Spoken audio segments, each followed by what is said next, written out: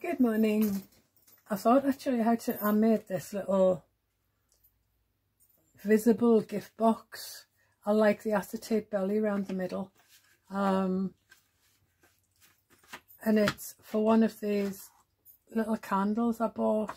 Um, these are most of the stuff I've got from last year. I just didn't get around to using. Um, so it's a Wickford and Co. and this one's Mango Coat Coconut Cooler. So it's just a nice little box. Yeah. Okay. So it's really easy to make as well. So you will need, I've gone ahead and done some things just to start, you know, getting everything to, together so that the video isn't quite too, quite so long. So for your base, you need a piece of card that measures 9.8 centimetres square then you want to score a two centimetre border all around the edges. Yeah. Fold and burnish those lines in. And then cut your angle from the glue and tabs there. And then also from the outer edge of the glue and tabs as well. I'm going to do the, the top part of the box with you just so I do it start to finish. So that's your base. So as I say, 9.8 square with a 2 centimetre border all round. Fold, burnish, um, cut in your gluing tabs and then add your paper panels which are 1.5 uh, sorry 1.75 times 5.5 centimeters and remember this is going to be the base so make sure your panels are facing upwards as you lay them down. Okay so that's that one. Okay for the top we need a square of card measuring 10.2 centimeters. That 2 millimeters makes a difference so make sure it's 10.2 and we're going to do a 2.1 centimeter border all the way around this one again that one millimeter does make a difference so it's, it's worthwhile doing it helps the lid slip on the box properly so to prepare this, we cut along the rectangle line on both sides, following the score line. Then we wedge out on both sides to create the gluing panel.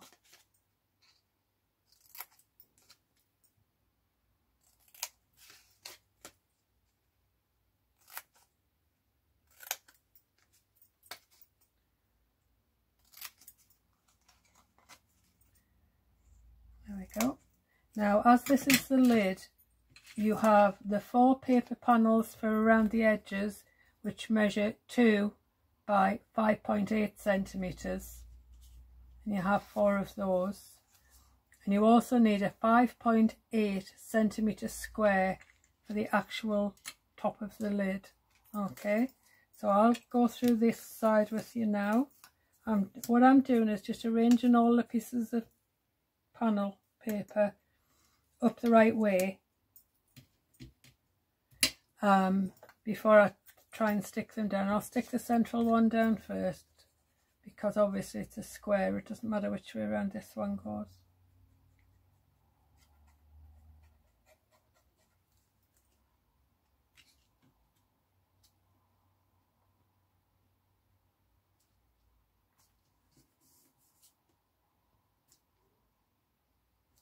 There we go. That's the centre bit done.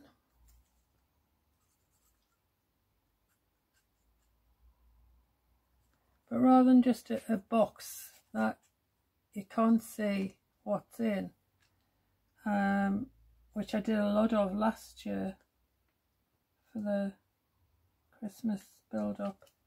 I um I wanted to do something so you can see what's in so you don't have to take the box apart you know you don't have to open the box completely just to see what's in it helps you to figure out what's inside of each of your boxes when you're preparing all these things and it just looks nicer for whoever you give it to so they can actually see what's inside of the box you can always um, tie a ribbon around it um, because that candle's quite heavy because it's in the jar, I have some circular mm, sort of clear tape tab tag things. Um, is that there? Yeah. So, yeah.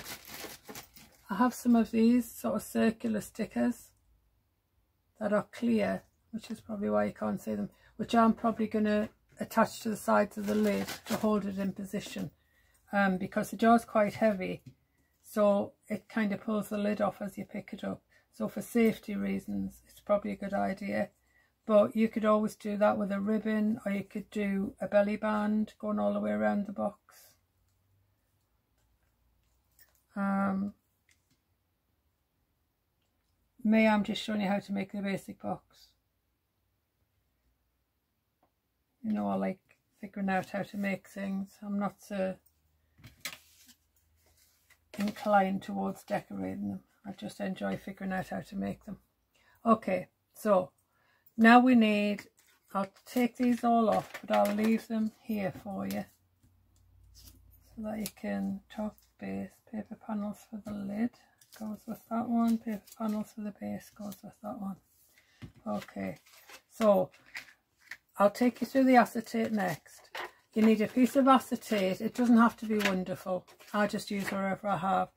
And it measures 8.8 centimetres by 23.8 centimetres, okay?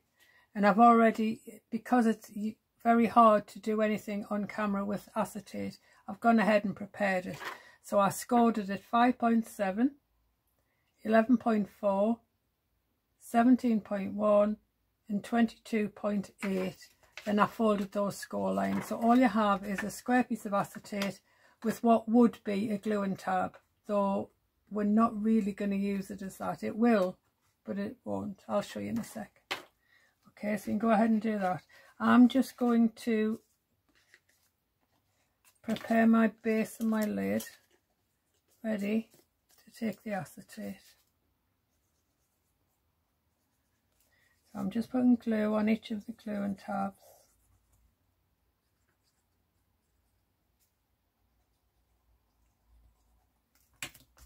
on both parts.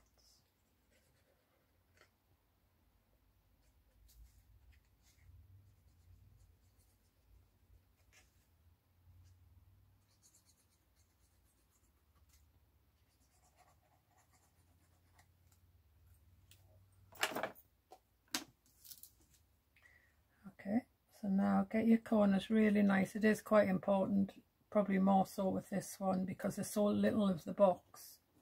It's mainly the acetate so whatever.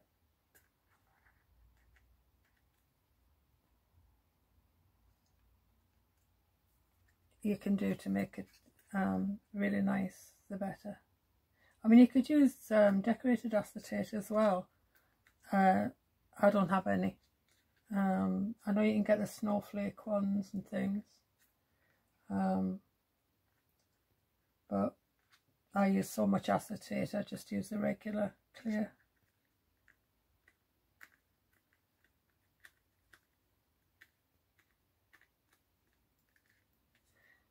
That's my lid. And I can tell that by the panels around the side. This is the base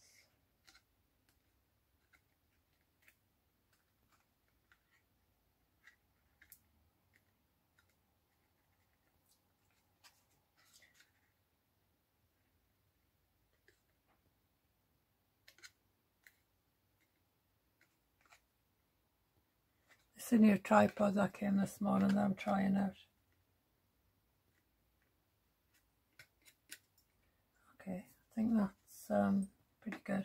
So what happens is we're going to put some tape inside, but the acetate is literally just going to sit inside of this base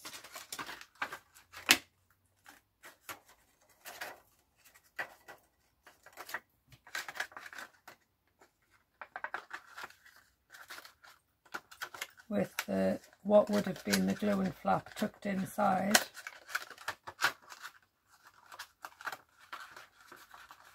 Hmm. Quite difficult to do when it's all folded up, but it'll set itself in. There we go. Right. So that's literally just going to sit inside your box. We are going to put some tape in the in the sides at the base to hold it in position.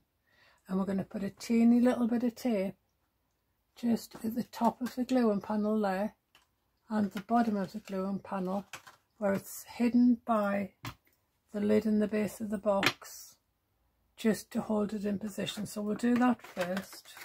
As I say, it's just a tiny little bit of tape we're going to use. If you've got something that won't show great, um, but with acetate, that's virtually impossible.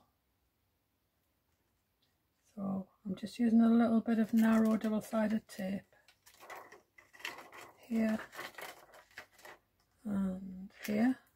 I'm not sure you'll be able to see with it being acetate. So just a little tiny bit right on the ends.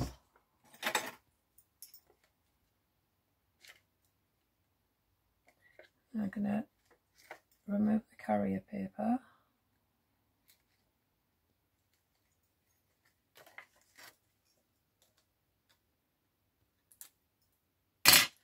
And I'm to, it's difficult to say off camera, never mind on camera. Then I'm to line this up with the final score line.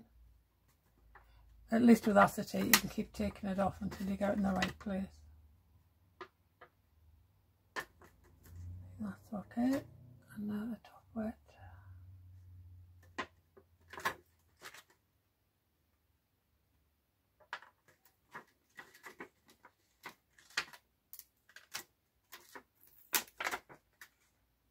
There we go. Right. So that's the only thing holding that in position. Okay. But as I said, we are going to stick it inside the base of the box okay and it's quite easy to do because you just put tape in and squash this down I'll show you okay so I'm going to use a slightly wider tape just because it's easier to manage inside the box and I'm literally just tearing pieces off and putting them inside the rim of the box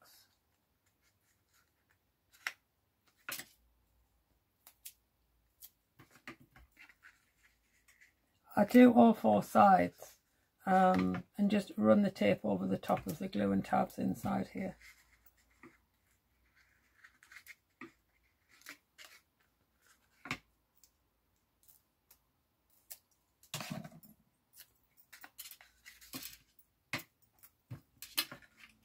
And just to make it easier because it's going to be fiddly getting it out from in there, getting the carrier paper off, I'm just going to burnish the tape down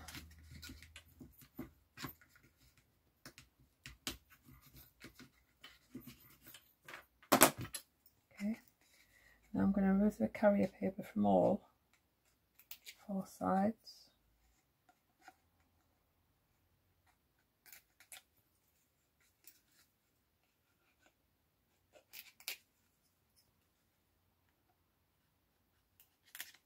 I don't know if you can see this, but I've got a little piece about this wide on the inside of all four sides.